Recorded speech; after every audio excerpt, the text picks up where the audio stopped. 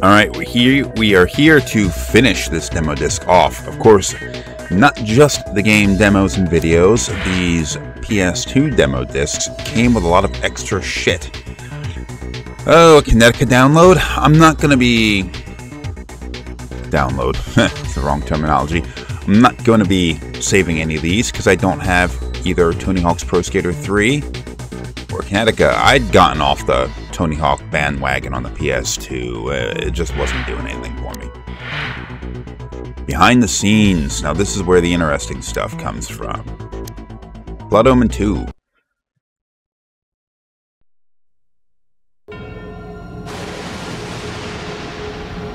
Step back in time, my friends, to fight for your life. For Kain rises again. You've met the challenges of Soul Reaver and Blood Omen. Now you will face even bigger challenges in Blood Omen 2. Blood Omen 2 is kind of Kain rediscovering himself in many ways, where Kain is kind of introduced to a rude awakening early on in the game and kind of has to ascend to power once again. Kain has been resurrected by the few remaining vampires that are alive in Nosgoth, and uh, they need him to infiltrate the Seraphim, try to figure out who the Seraphim Lord is, what is this new magic he's using to kill all the vampires, and try to overthrow him and regain his conquest of uh, Nosgoth. In a world of darkness, it's hard to tell who is on the side of the just and who is a force for evil. Such is the case with Kain. One of the great things about the Legacy of Kain universe is it's not so clear cut who's the good guys, who's the bad guys. There are characters who you may paint as the bad guy, and all of a sudden you then realize that this guy is actually doing something which is of benefit to somebody else. Kain himself. Yeah, if that's how you wanna put it. Everything he does is about what's best for Kain at that time, regardless of whether it's seen as a good thing by the world or an evil thing by those around him. Kain himself is not necessarily a good guy trying to defend the common man. Kain has this very, very clear set of goals of taking over Nosgoth and turning the world to his will. One day my people would know me again for their lord, but the vampires who were traitors to their kind would know me first of all. You will enter this world in a weakened state, and you will have to use all your cunning to grow strong once again. Kain actually begins the game stripped of most of his former powers. He retains the ability, or some aspect of the ability, to hide himself in mist.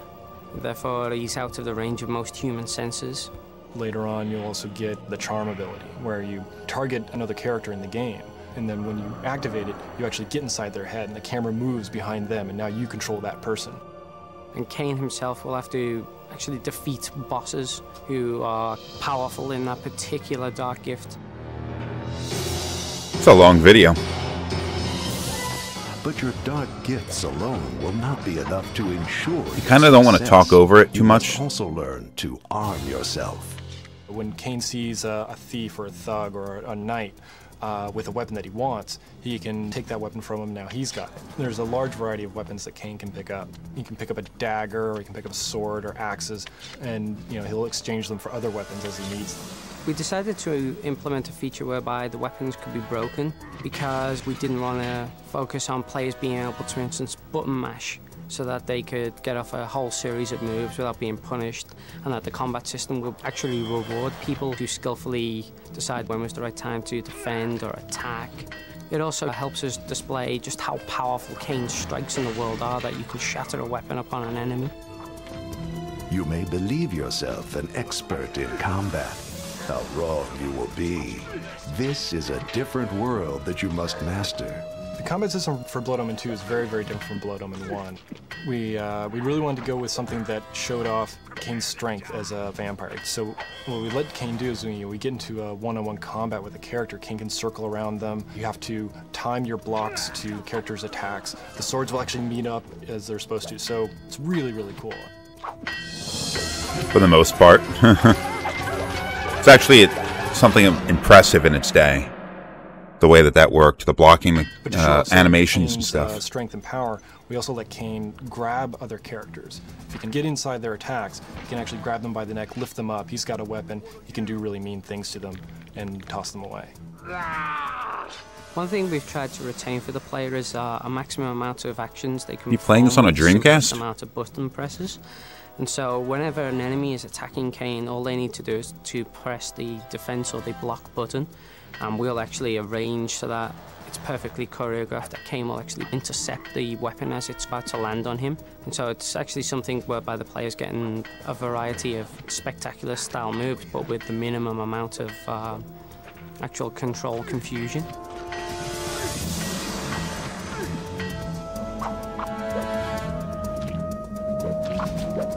Then Kain can also dodge the side uh, around the person to try to get away from the attack. Now, some of the attacks your opponents have are unblockable, and they have a very special graphic to, to sort of communicate to the player that you can't block this attack, you have to just get out of the way.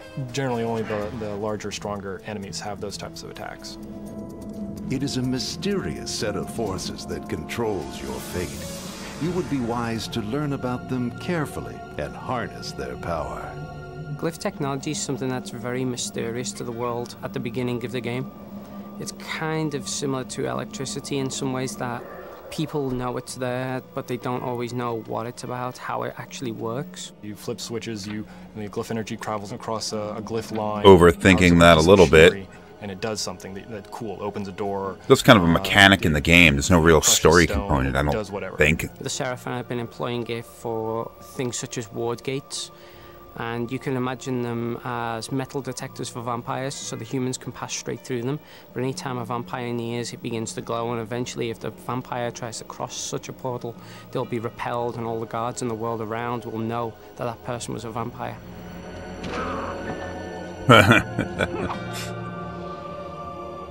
In playing Kain, beware, or you too can fall victim to his spell.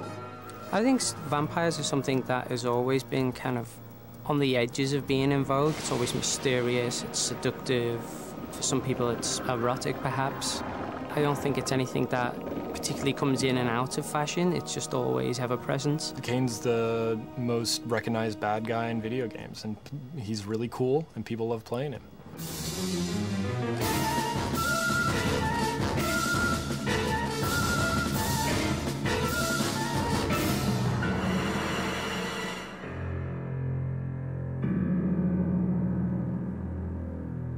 All right, so I had tried to play a demo for another one of the Legacy of Kain games, Soul Reaver 2, when going through the demo portion of this, and it just didn't load. But we're talking about Blood Omen 2. These two games came out at around about the same time. Uh, Blood Omen 2, you know, I'd say it's probably the most divisive game in the series. It's people say it's the worst game in the series. and, You know, that's probably true.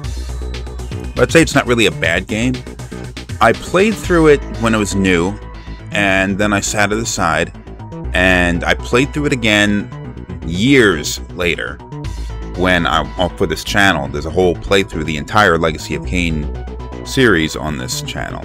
But when playing through it for the sake of making videos, I had come to the same conclusion that I did back when I played it originally, is that the game knows exactly how long it should be. And that's a rare gift in games at all, especially modern games. It doesn't overstay its welcome. It knows it's it knows how long its gameplay loop will be sustainable for it. It's not too short, it's not too long. Strangest thing that that's the best thing I can say about it. That it, it doesn't overstay its welcome, but it's actually like surprisingly difficult to find a game that does that. As far as like its narrative significance, it kind of fucked everything up for the Legacy of Kain series because the idea behind it is the idea behind the entire series was Kain is turned into a vampire and he goes through his journey on in the first Blood Omen game. And then thousands over a thousand years later, you have Soul Reaver. And then after Soul Reaver, the game Soul Reaver was supposed to end the series, but they ended up cutting a lot of content for it and left sort of a cliffhanger at the end. So they started working on two games at once. So they had Blood Omen 2 and Soul Reaver 2. Soul Reaver 2 or Blood Omen 2 took itself, placed itself in the timeline in a rather strange place, which was before the uh, before Soul Reaver, but after the original Blood Omen. In that place, Kain initiates a sort of like a vampire takeover of the world, and he gets defeated, and then wakes up a couple hundred years later to rebuild his empire. The problem is it, that doesn't really fit in the timeline well. It doesn't make any sense. He has a vampire army, but at the end of Blood Omen, he's the only vampire left. It's actually a significant aspect of the story that Kain is the only vampire left in the world. And he has to rebuild, and he takes Raziel, and he takes Dumah, and all the others, and and goes on his crusade. Blood Omen 2 creates an entire new vampire army and population out of nowhere. Characters like Vorador are miraculously resurrected, and no explanation is ever given. So that meant that Soul Reaver 2, which came out at about the same time, had to jump through hoops trying to trying to rationalize all of the continuity errors that Blood Omen 2 created. And it wasn't until the end of Defiance, which was the game, the follow up game to those two, that they finally managed to close the majority of those plot holes. It's kind of, as far as also like the characterization of Kain as well, is a little bit different because the way he was portrayed in the first game, as well as Soul Reaver 2 and Defiance, he had this kind of like Shakespearean esque pretentious speech to him, which is toned down way far in Blood Omen 2. The voice acting, uh, Simon Templeman, the guy who voices Kain, does an, incredible job in all of the games.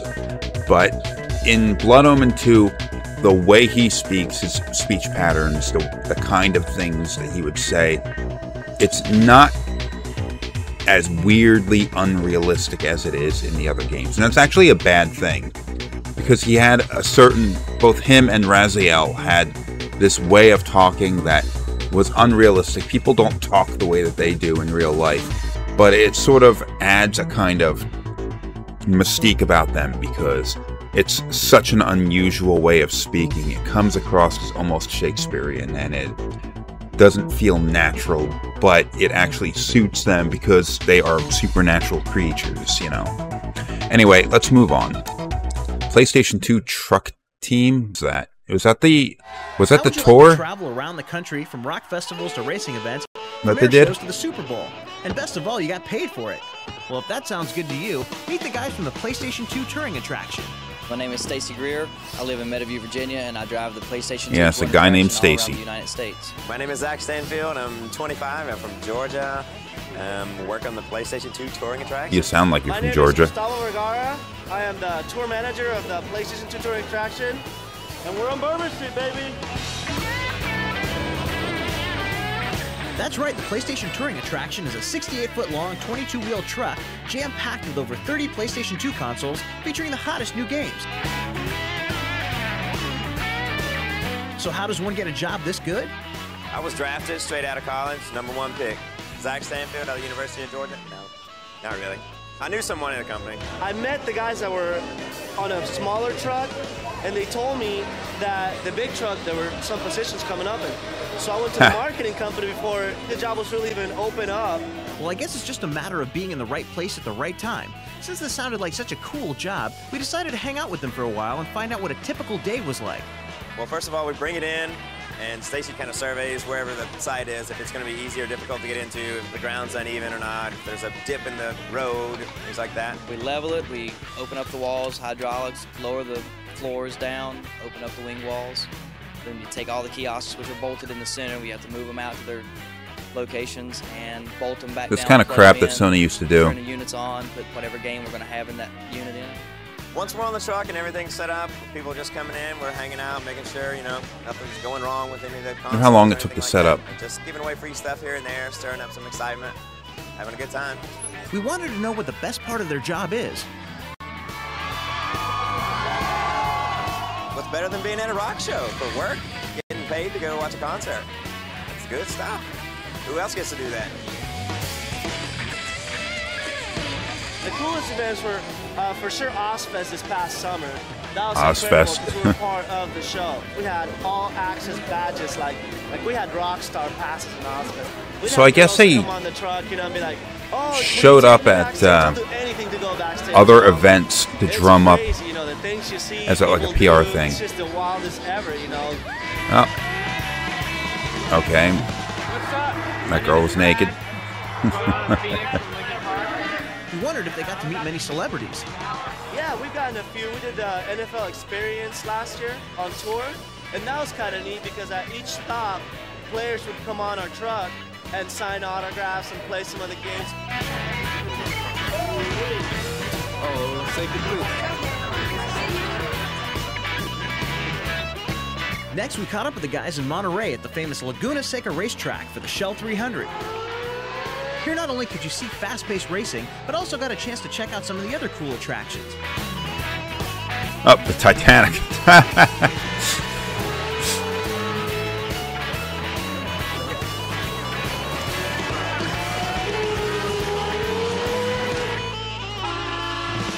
Then the gang was off on a cross country trip to the Voodoo Festival in New Orleans, where we found out what they do on their off time.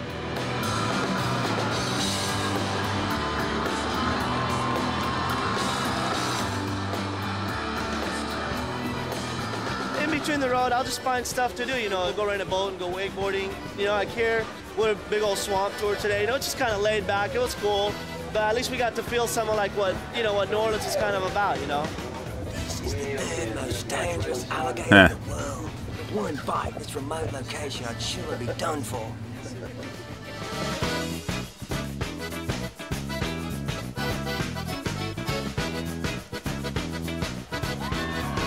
While in New Orleans, we got to see what the boys do best, and this is what they do to get the crowd pumped up. Every 15 minutes, we get people on the truck. Zach or myself will welcome them, uh, play some music. You know, I usually try to warn them when they come in that the louder they are, the more stuff I'll give them. Make some noise right now. Oh, personal space. To get a T-shirt or another prize when they come on the truck, we have trivia questions, we have prize giveaways. Brand new shirt there, buddy. Still got the creases in it. Maybe we'll have a contest, like I was saying. Maybe a little Tekken Tag Tournament or Formula One or something like that. The winner will win a T-shirt. It's two laps. You know, I wonder what year this disc came out. Person wins out of the two laps. Well, it can't be all fun and games. There must be some downside to their jobs. Being a nomad, I guess, living out of a suitcase all the time, having nowhere to go home to at the end of the day. Yes. It's one of the toughest parts. Can't remember this from our last day. She's so hot. Guys, I'm serious. Oh, this girl doesn't want to be on camera. This charming. Let's sell a it's a good thing you fucking put her in this video. I really like the PlayStation guys staying here. Thank you. Being away from Must have been Halloween. See a jack-o'-lantern. uh, that gets wearing after a while. But I talk to them on the phone all the time, and we keep in touch via email. And every once in a while, during a really cool event, I'll fly maybe a friend or two out, you know, and we'll just party. That's right, these guys are on the road 44 weeks out of the year, but their job is definitely in their blood. Even after a long day of giving stuff away, they just can't stop. Yeah, giving stuff away. The beads at Mardi Gras, that's giving stuff away. Alright, that, that's just weird content. That had nothing to do with any actual games. Uh, it is, um, I wonder if Sony did anything like that for, like, the PlayStation 3. I, I want to say that they did. Where they did, did this tour looking for um, cool moves. Okay. Portal Runner. You're still doing Portal Runner? Hi, my name is Jesse with the 3DO Company, and today I'm going to show you a cool move for Portal Runner for the PlayStation 2. In Portal Runner, probably one of the hardest levels to beat is the Dragon Boss level. Today I'm going to show you how to deal a 50% instantaneous damage to the dragon and reduce his health level by half. Let me show you how. So Portal Runner, I did not remember this game existing at all until I ran across it in one of these demo discs.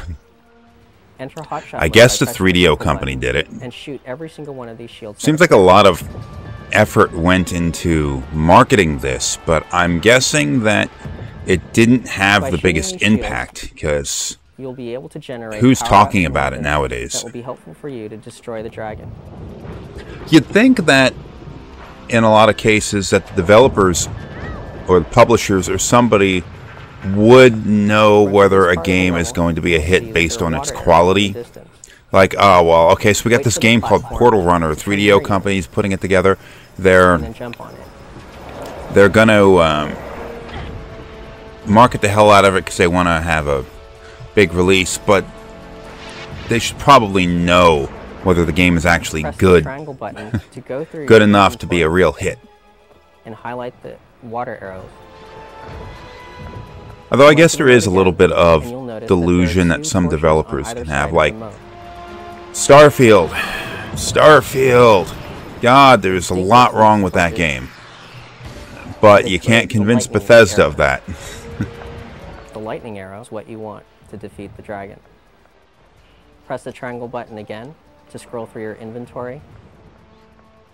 Make sure that the lightning arrows are in your inventory. and I guess what they wanted to do was to take this. Portal Runner girl now has 50% health. and try to So by using the lightning arrows, you'll reduce the Try to sort of 50% and be that much closer to create a sort of um like a I don't know how sort of like Lara Croft her in a bit. So you had Tomb Raider, which was in its day a pretty good game, but the popularity of that game based on the character of Lara Croft was way in excess of what the game deserved. And maybe that they're trying to do the same thing there, create this character here that they could build an entire series off of. Twisted Metal Black. My name is Saul, and I'm a tip writer for Sony Computer Saul. Today I'm going to show you a cool move for Twisted Metal Twisted Metal Black. In Black. cool move, I'm going to show you how to unlock the hidden character Manslaughter within the prison ship level. Let me show you how it's done. I love the original the Twisted Metal. the prison. And I didn't have a whole lot of experience with the later games in the series. I played a little bit of Twisted Metal 2, but it was years after it released, and the game had just become too dated by that point. in order to form a ramp. Then Twisted Metal 3 and like 4 and Small Brawl and all those were Twisted Metal games. They're just sort of like lost. For an opening Wait for an opening. on the side of the ship. Oh, look at that. Drive into the hull of the ship and destroy the control box. This will lower manslaughter for you. Meh. Now when you go back to the character selection screen, So Twisted Metal manslaughter will be Black did kind of revitalize the Twisted Metal series and the car combat genre, which had been had tapered off. I mean, it was really popular for a while, and you had lots of different games which took advantage of that popularity. But Twisted Metal was the big deal. I'd say Vigilante 8 was probably a better game, but you know, I think I'm alone in that statement. Twisted Metal Black kind of revitalized it. I remember having the twisted version of Twisted Metal Black that worked Saul, and I'm a online tip writer for Sony with the uh, with the PS2. going to show you a cool move for Twisted Metal Black. But again, then Twisted Metal died off, gonna show you how to and it got the hidden level brought back, I think, for a for the multiplayer PlayStation mode 3 game, in the highway loop level. fairly Let me show late gen. PS3 game. Locate the four large spheres within the highway But I don't think it really hit with a sure you have your splash. gas can armed. and we haven't seen another one since. Fire the gas can at the large spheres. And wait for the large sphere to roll all the way down the highway.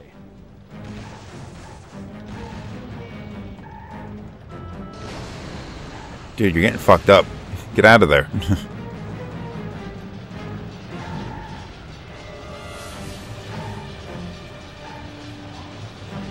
Ha. Now you'll notice that the large sphere has made a large gaping hole within the tunnel. Locate the black cube over here to unlock the elevator level. That's Now weird. you've unlocked the hidden level elevators for the multiplayer mode. Make sure to play that with your friends. There was a lot, uh, like I had said before a bunch of times. There have been a lot My name is of Saul, and I'm a tip writer for Sony Computer Entertainment. Today I'm going to show you a cool there are a lot of Sony In this cool move, I'm um, you a huge intellectual properties, franchises, whatever you want to call them, Let me show you how that they've created over the years and then just kind of abandoned. I mean, is this Kinetica? That was a first party game, wasn't it? Uh, that Start using your boost and you get Twisted Metal is one. Warhawk is another. I mean, they made a. There was one Warhawk game on the PS1, and then they sort of made a Warhawk game on the PS3, and that was it. And it- was one of the biggest releases of the early PlayStation One too. Right on the main track. Like it was, the, it was actually a fairly big deal because it was a kind of a Not only will this shortcut flight get a lot of simulator kind of thing that you hadn't really seen gives you a before. great opportunity to collect a lot of boost. But you know, it didn't stick around. My name is Saul, and I'm a tip writer for Sony. Kinetica. This one I remember it did have a fair bit of hype coming around it. Although in my opinion it was basically Wipeout in a different Let me show you form. where it's at. Wipeout though was a first party What you're looking for is Sony game. front of you. It was Just drive right through the Psygnosis I think made. Wipeout. And Wipeout And go and through the rest of Psygnosis the did make games for other consoles even after it was owned by Sony. As you can But uh, it was definitely a first party game. It was just a first party Sony game that got released on the friggin' Saturn. on each lap, and you're almost I think that's true. I should look that up before committing to that. But Kinetica, that that had a lot of hype behind it, and I I don't know if anybody really gave a My shit. name is Jesse with the 3DO company. once it and finally gonna show you released. a cool move for But as I said before, Force for the it's In Godai, you play something Sony used to do a lot, which was magic of earth, throw everything at the wall and see what What stuck. may not know In order to like, well, Kinetica is just something you threw at the wall. It didn't stick. Oh well. Let me show you how. Maybe it turned a profit, maybe it didn't, but Sony at least tried. What am I looking at? I don't even Right know now what this game, game is. I'm activating my fire magic while that's Frame rate going on. sucks ass. Queuing up my earth magic, execute that, and while that's going on, I'm activating my final air magic.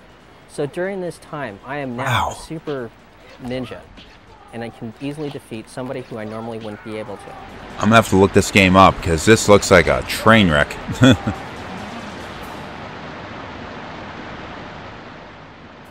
And that's how it's done. Go, Godai, Godai, Gotti, Elemental Force. Ah, whatever. Who gives a shit? Celebrity gamer, who is this? DJ Qbert. The fuck is that? All right, I'm gonna I'm gonna drop some uh, hot takes here. Um, DJ Qbert, and I'm a uh, scratch musician.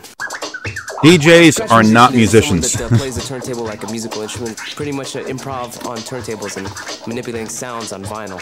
CDs are cool, but uh, you can't scratch on them. Any sound on vinyl is a uh, is a is a musical instrument to us. Yeah, yeah, I'm sure you think so.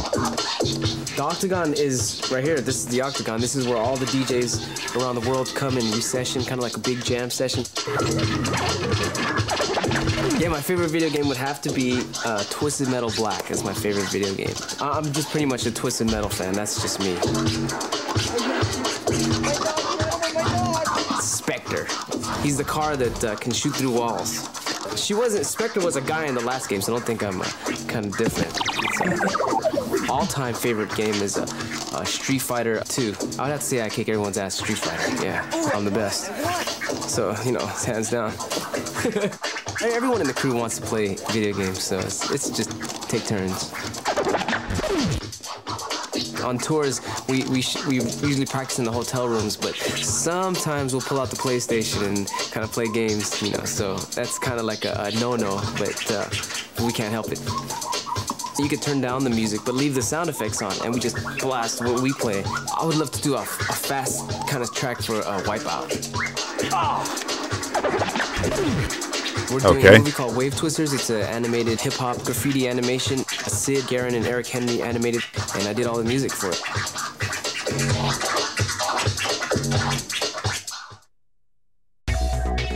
Uh, okay. Yeah. Glad you, uh... Never mind. I don't want to say anything too bad about people, because, uh... I'm sure this... Okay, whatever. Threads, uh, just merch.